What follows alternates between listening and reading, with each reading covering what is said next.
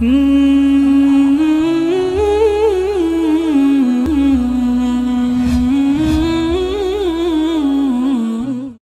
ایرانی وزیر خارجہ جواد ظریف کی پاکستان آمد اور یہاں اہم سرکاری شخصیات سے باضابطہ ملاقات کو بعض تجزیہ کار خطے میں قیام امن کے لیے ایک مثبت پیش رفت گردان رہے ہیں۔ اور یہ توقع کر رہے ہیں کہ اس دورے سے ایران و پاکستان کے درمیان مختلف وجوہ کے باعث کشیدگی اور تناؤ کے پیدا ہوتے ماحول پر قابو پانے میں بھی مدد مل سکے گی۔ پس اگر ایسا ہو جاتا ہے تو یہ خطے کے معروضی حالات کے تناظر میں امید افزا امر ہوگا۔ لیکن فی الوقت ایسا ہوتا نظر نہیں آ رہا ہے۔ کیونکہ ایران میں ایک مخصوص نظریے کی قیادت اور اس کے غیر دانش مندانہ فیصلوں اور جارحانہ اقدامات نے اس وقت عالم اسلام کو شدید کرب انتشار اور بے چینی میں مبتلا کر رکھا ہے۔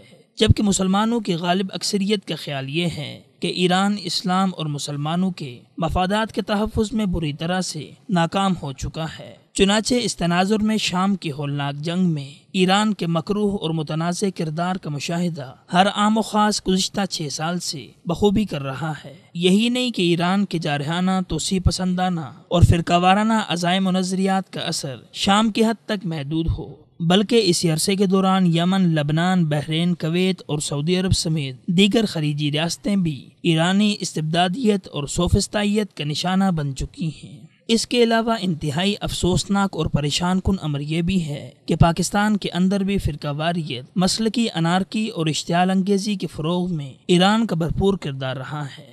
اسی لیے پاکستان کے عوام کے لیے ایران کا عالم اسلام کے مفاد کے منافی اور پاکستان دشمن کردار کسی صورت بھی قابل قبول نہیں ہے۔ اگرچہ جواد ظریف کا دورہ پاکستان ایک اچھا موقع تھا کہ اس کی وساطت سے ایران کا مکرو چہرہ بے نقاب کرتے ہوئے مشرق وسطی میں اس کی عدم مداخلت کا مطالبہ کیا جاتا۔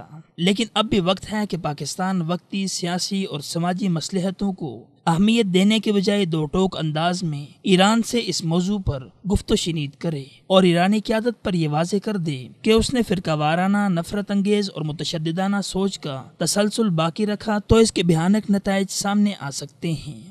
علاوہ ازی مسلم امہ کے شیرازے کو مجتمع کرنے کے لیے ضرورت اس امر کی بھی ہے کہ پاکستان کے سیاستدان، حکمران اساکر سمیت دیگر طبقات داخلی اور فروئی معاملات کو ثانوی حیثیت دیں اور بحیثیت مسلمان امت کے تحفظ اور بقا کے لیے سوچ و بچار کو شعار کریں، کیونکہ اسی میں پاکستان کی کامیابی اور نیک نامی مزمر ہے۔